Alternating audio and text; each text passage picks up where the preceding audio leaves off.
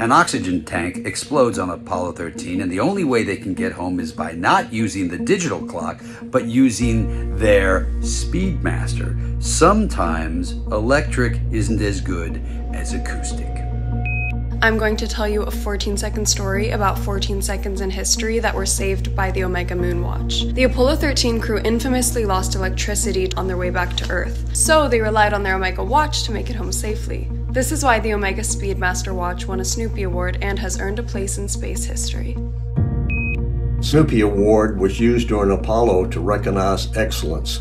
Omega won such an award during Apollo 13 when the Speedmaster watch was used to time a very critical burn that allowed the crew to re-enter safely. Omega and Snoopy in 14 seconds. An oxygen tank exploded on Apollo 13. No power, no digital timers. The crew used their Speedmaster watches to time the 14 second burn. Omega was presented with the Silver Snoopy Award because Snoopy keeps things light.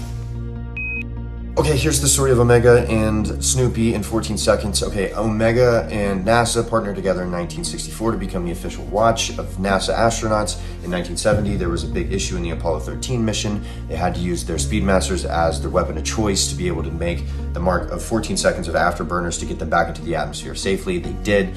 Therefore, NASA awarded Omega the Silver Snoopy Award, which is um, a mark of gratitude uh, for its contributions in human spaceflight. Um, and Snoopy is, is and was the unofficial mascot of NASA uh, because it, uh, Snoopy, uh, little cute dog, was uh, known for making light of very serious situations. He was also a wonderful watchdog. So here is Chase attempting to do 14 seconds, and it's really 52. Thank you so much. I failed. Goodbye. the story of Omega and Snoopy in 14 seconds. Since 1964, uh, NASA astronauts have worn Omega Speedmaster watches.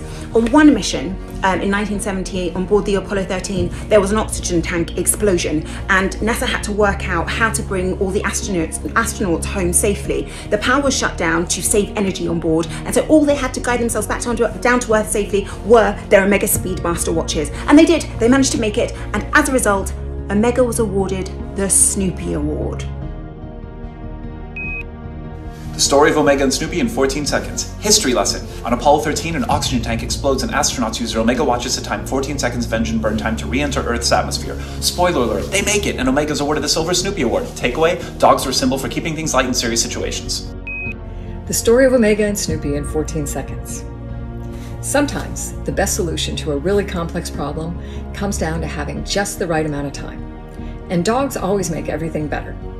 A precise 14 seconds set on their Omega Speedmasters was that right amount of time for the Apollo 13 crew. For their part in this life saving mission, NASA awarded Omega with the coveted Silver Snoopy Award. When disaster struck the Apollo 13 mission and the crew had to shut down all the main systems, the Omega Speedmaster played a central role in bringing everyone home.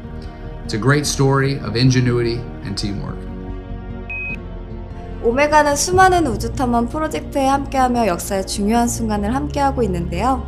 그 중에서 가장 유명한 사건이라고 할 수 있는 아폴로 13호의 이야기를 해드릴게요. 1970년 아폴로 13호가 달을 향해 가던 중 지구에서 약 30만 킬로미터 떨어진 지점에서 우주선은 큰 손상을 입게 됩니다. 결국 달 착륙 미션은 취소되었고 비행사들의 무사 귀환을 위한 작전이 시작되었는데요.